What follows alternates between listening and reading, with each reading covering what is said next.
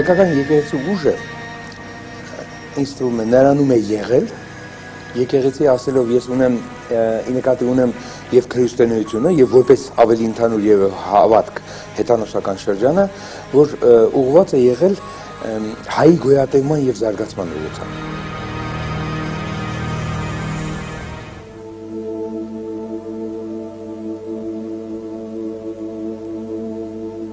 տեսեք, ինչպես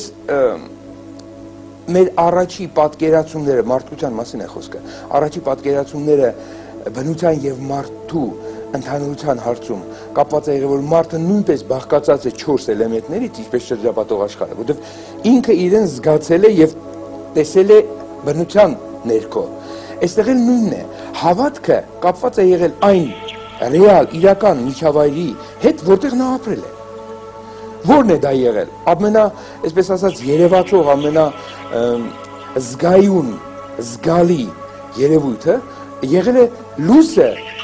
եւ մութը։ Լույսը կապված է եղել մարդու կենսագործնեության հետ, ակտիվության հետ, ստեղծելու հետ, սնվելու հետ, ապրելու հետ։ Մութը կապված է եղել գիշերը, կապված է եղել հանգստանալու հետ, որտեղ չիմանալով թե ինչ է նշանակում հանգստանալը, այդ ոնց է որ մարդը երազ է տեսնում, շատ շատ շատ առասպելներ են ստեղծված եղել, շատ հավատքի մեջ ընդունված բաներ են եղել եւ իզուր չի որ ամբողջ մարդկության համար լույսն է եղել սիմվոլ հավատքի իսկ լույսը դա արևն է դա արևապաշտությունն է եղել ընդունված արևն է կյանքի հիմքը մինչև հիմա մենք ասում ենք որ արևն է կյանքի հիմքը ամբողջ կյանքը գոյատևությունը կապված է արևի հետ եւ այստեղ ինձ թվում է նախաքրիստոնեական ժամանակները հստակորեն ավելի ինչ որ առումով, վերապահումով մոտիկ են եղել բնության էությանը, քանց թե հետո, երբ որ ստեղծվել են արդեն տեսություններ, մոտեցումներ։ Եվ ես տեսնում եմ այստեղ մի շատ կարևոր հանգամանք։ Քրիստոնեությունը, քրիստոնեությունը հայկական միջավայրում իր հիմքում ունեցել է արևապաշտությունը եւ միջև հիմա էլ շարունակում է որովհետեւ ինչ որ ադատներ սովորություններ կան որոնք այն ժամանակվանից միջև հիմա պահպանվում են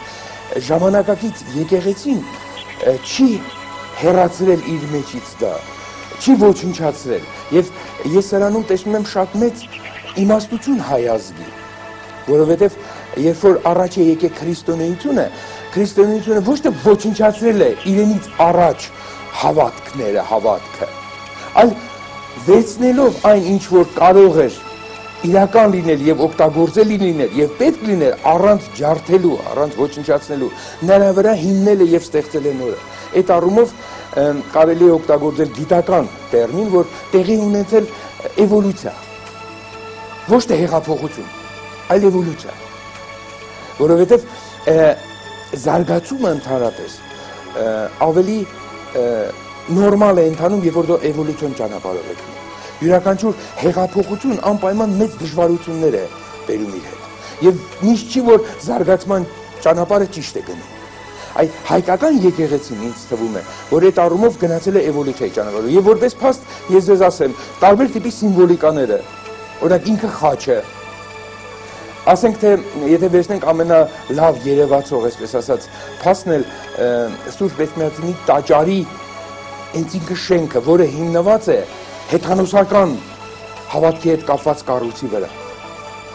որը շատ լավ պահպանվում է, միջև հիմա պահպանված է եւ եկեղեցականներ եկեղեցականները միշտ շեշտում են այդ փաստը, որ մենք ոչ թե ոչնչացրել ենք, այլ դրա հիման վրա ենք արել դա։ Եվ այստեղ ինձ թվում է մարդու համար շատ կարևոր է, որ այս պահպանողականությունը կապված է եղել համամարտկային արժեքների հետ, որոնք նպաստել են մարդու գոյատևմանը։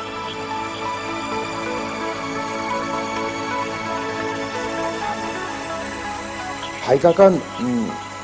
եկեղեցին ինքը իր էությամբ դեմոկրատ եկեղեցի է դեմոկրատական սկզբունքներ շատ կան։ Եվ իզուր չէ որ նա կոչվում է լուսավորչական։ Դա բերել է նրան, որ ինձ թվում է հայկական մարդկության ուղղվածությունը, մարդու հայ մարդու ուղղվածությունը հավատքի նկատմամբ կուրորեն չի եղել, կուր չի եղել։ Դա եղել է կապված մի փաստի նկատմամբ, որը պատմություն է, որը ազգային պատկանելիություն ունի, որը գիտակցում է, որ պահպանել է ազգը, որը գիտակցում է, որ դրական գործոն է եղել ազգի համար։ Եվ բնական է, որ այստեղ շատ մեծ նշանակություն ուներ ընտրությունը։ Այ ինձ թվում է, որ հայկական եկեղեցական մոտեցումը ընտրության հարցում բավականին բարձր որակ է ունեցել, որովհետև ոգեղենություն է պարունակել իր մեջ։ Եկեղեցականներ դարել, ընտրվել են, դառնալ, բառն եմ ես ուզում նշել։ Այն մարդիկ, որոնք ուզեցել են ծառայել ազգին։ Ոչ միայն եկեղեցին, այլ ազգին։ Այստեղ շատ կարևոր բան եմ տեսնում։ Ազգին ծառայելը ոչ ավելի քիչ պակաս է եղել, քան թե եկեղեցուն։ Երբեմն եկեղեցու ներքո հնարավոր միակ հնարավորությունն է եղել, որ հնարավորություն է ստեղծվել ազգին ծառայելու։ Եվ ասեմ, միջև հիմա էլ շատ լավ հստակ երևում է, եթե եկեղեցի գնում ես, դու տեսնում ես, որ այ աստուն ուղված հայացքը, մտքերը ֆանատիկական չեն, հայկական եկեղեցի երբեք ֆանատիզմ չի ունեցել։ Այլ դա իմաստավորված է եւ ոչ կույր այլ դա հարգանքի նշան է դա իր պատմության նկատմամբ վերաբերմունքի նշան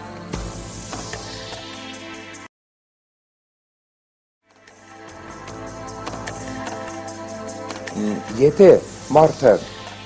հավատում է այնպիսի մի երևույթի, լինի դա ստված, լինի դա մի ուրիշ բան, գիտություն, բնություն եւ այլն, որը միայն օգտակար է մարդկության համար, իրեն անձի եւ շրջապատի համար եւ որը վնաս չի հասցնում հակառակ, դա դրական երևույթ է։ Ուրիշ բան է, որ հավատքը կարող է առաջացնել նախանց, հավատքը կարող է թշնամություն առաջացնել։ Հայկական եկեղեցին այդպես ինչի է, հայկական եկեղեցին իրեք իրոք լիբերալ է լիբերալ դեմոկրատական դեպքից ասած ուղղվածություն ունի։ Եվ այստեղ տեսնում եմ շատ կարևոր մեր դեր, որովհետև կրկնելով իմ խոսքը նախորդ հաղորդումների, որ եկեղեցու ներքո է փաստորեն զարգացվել եւ առաջընթաց ունեցել հայկական միտքը հայկական արվեստը գրականությունը, մշակույթը ավելի լայն։ Բնական է, որ ամեն մի հաջորդ սերունդ հարգանքով եւ մեծ ուշադրությամբ է վերաբերվել։ Ես ասի, որ հայկական ազգի մեջ էվոլյուցիան հիմնական սկզբունքն է ապրելաձևի, որովհետև տեսեք, շատ հզոր գործոն է մեր այն ադատները, սովորությունները, որոնք պահպանել են հայ ազգին, որի հիմքում ընտանիքն է մեր հայկական ընտանիքը պահպանողական է։ Շատ հաճախ երիտասարդ սերունդը քննադատաբար է վերաբերվում դրան, բայց ինքը մեծանում է եւ նույն բանը պաշտպանում է։ Դա շատ լավ է, որ քննադատաբար է, որովհետեւ այս այն հակասությունն է, որը ոչ թե վնաս է հասցնում, այլ հակառակ ծառայում է զարգացմանը։ Եւ այդ առումով ես ասեմ, որ պահպանողականությունը այստեղ շատ կարևոր դեր ունի, ֆունկցիա ունի։ Ինչն է պատճառը, որ հիմա տեղի է ունենում ինչ որ փոփոխություններ, փոփոխություններ, որովհետև սոցիալ-տնտեսական պայմանները ժամանակակից շատ ուժեղ խառնեցին այդ պահպանողական համակարգը։ Էլի բաներ պահպանվել է, բայց շատ բաներ հարկադրված վերացվել է։ Եվ այստեղ օրինակ տեսեք, ավանդական հայ երիտասարդի վերաբերմունքը դեպի տարիքած մարդու խախտվել է պահպանվում է, եթե մենք համեմատում ենք ուրիշ ազգերի հետ, բայց այն չի ինչ որ մի քանի տասնյակ տարի առաջ։ Բարեկամական կապերի, հարաբերությունների էությունը փոխվել է։ Պետք է անպայման ազգային քաղաքականությունը հիմնվի էթնոհոգեբանական օրինաչափությունների վրա։ Եկեղեցին ունի այդ ժամանակակից լեզվով ասած ինֆորմացիոն բանկը, որովհետև եկեղեցու մեջ է պահպանվել հայ ազգի էությունը։ Կանեք, մենք կարող եմ այսպես ասել, եթե համեմատենք ամբողջ մարդու հոգեկան համակարգի հետ, ամենակարևոր բաներից մեկն է, առանց որի չի կարող մարդը գոյատևել հոգեկան ընդհանրապես ցուցաբերվել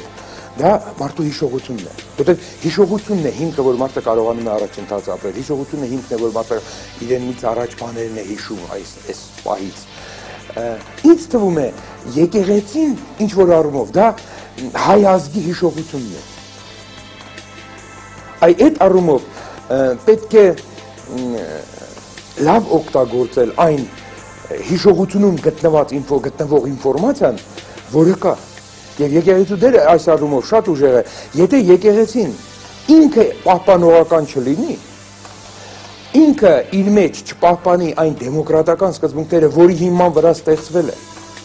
դա կարող է ազգի վրա շատ մեծ բացասական ազդեցություն ունենալ։ Առաջի ազդեցությունը նա է, որ ամենակարևորը, որ կարող է ջարդվել մարդու հավատը, հավատալը։ Եվ շատ մարդիկ հեռանում են եկեղեցուց եւ դառնում են անհավատ ոչ միայն Աստծո նկատմամբ, հավատքի նկատմամբ, այլ ընդհանրապես։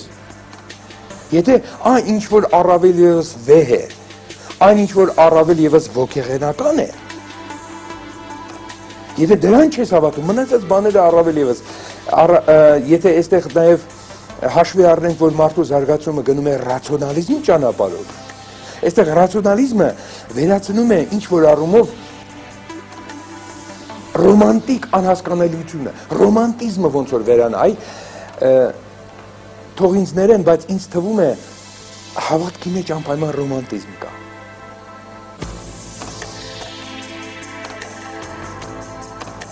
Ինչքան որ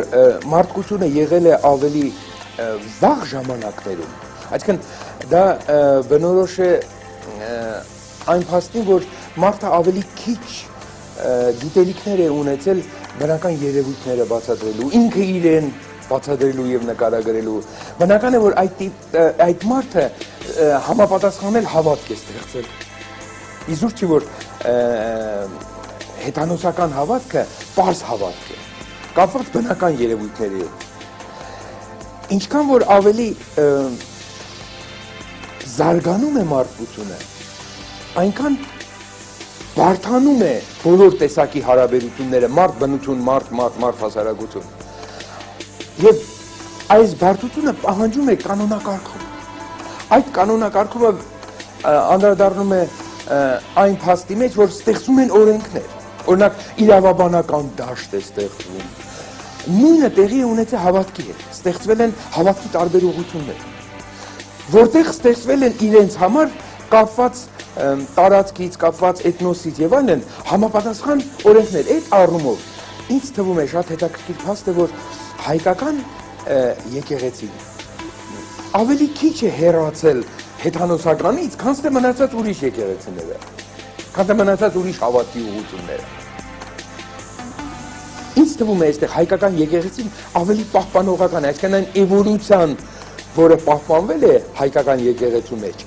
շատ լավ ցույց է տալիս, որ այն նախադրյալները, նախաքրիստոնեական նախադրյալները կարողացել են դրականները պահպանվել եւ փոխանցվել նորի մեջ։ Եթե ոչ նույնիսկ կանոնակարգված, թեպետ կանոնակարգված է, այլ չեն հերկվել եւ չեն արգելակվել եկեղեցի կողմից։ Որ միջև հիմա էլ կա տննդեզները եւ այլն եւ այլն։ Եվ ինձ թվում է այստեղ մի շատ կարևոր բան կա որ ժամանակակից իրադրության մեջ, այ մեր իրադրության մեջ հայկական եկեղեցու ֆունկցիան ես տեսնում եմ մի քիչ վատ ասեցի, ես տեսնում եմ, որովհետև դա հայկական եկեղեցու ես տեսնում եմ, որ քիչ մեծամտություն ունի մեջ, այլ հոգեբանական իմաստով եմ ես ասում։ Ես տեսնում եմ նրա մեջ, որ մենք վերադառնանք նորից այն մարդկային հիմքին, որը միշտ ամբողջ զարգացման ընթացքում հայկական հավատք ունեցել էին, հեթանոսական, քրիստոնեական եւ այլն։ Միշտ եղել է մեծ փոխարդարձ հարգանք, անց եւ հավատք, անց եւ եկեղեցի։ Միշտ է եղել դա։ Հիմա նորից կա հնարավորություն այդ փոխհարաբերությունները վերադարձնել։ Տեսեք, եկեղեցուն նպաստող պետական քաղաքականություն կա։ Թեպետ անկախ է էլի պետությունից, բայց պետությունը ուղղված է եկեղեցուն։ Պետական այրերը ուղղված են եկեղեցուն։ Եկեղեցին կարող է շատ լավ վերելք ունենալ, բայց ոչ թե ինքը իրեն համար, ոչ թե ինքը իրեն շահերի, այլ ազգի շահերից։ Այս ազգի շահերը, որը հիմնականում եղել են միշտ հայկական հավատքի կենտրոնում, ինձ թվում է հիմա պետք է լինեն նաև կենտրոնում, ոչ թե խոսքերով, այլ գործերով։ Ինչ որ առումով, քանի որ մեր պետությունը դեռ նոր է, պետականությունը ձևավորվում է, սոցիալ-տնտեսական պայմանները շատ ծանր են եւ միշտ որ մեր կենցաղային պահանջմունքները կարող է պետությունը բավարարել, այստեղ եկեղեցին ունի շատ կարևոր մի ֆունկցիա։ Չվեճիշացնելով իրեն, օգնի հային օգնի հային, որովհետեւ նա դառնա իրոք այն մարդը, որի ամենակարևոր երևույթը էությունը դա ոգեղենությունն է